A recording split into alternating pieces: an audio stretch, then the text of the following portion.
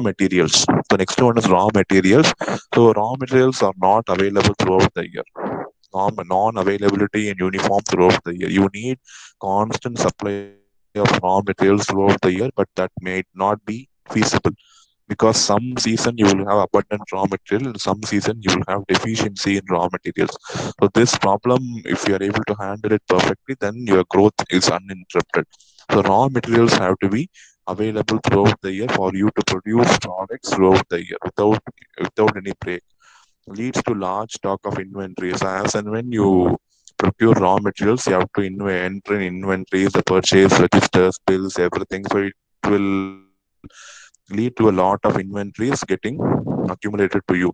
So if the raw materials are available always, then the working capital is increased. The interest is also increased. In the absence of raw material, neither any enterprise can be established nor an entrepreneur can be emerged.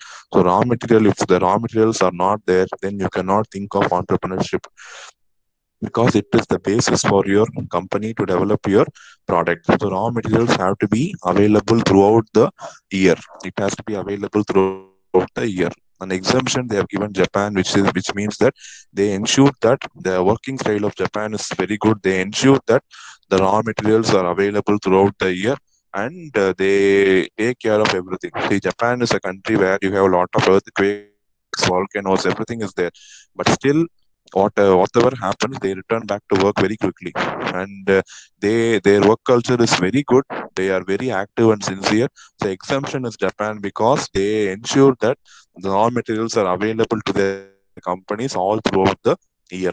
Next one is market. So economic factors four important economic factors are there. First one is capital second one is labor third one is raw material and last one is going to be market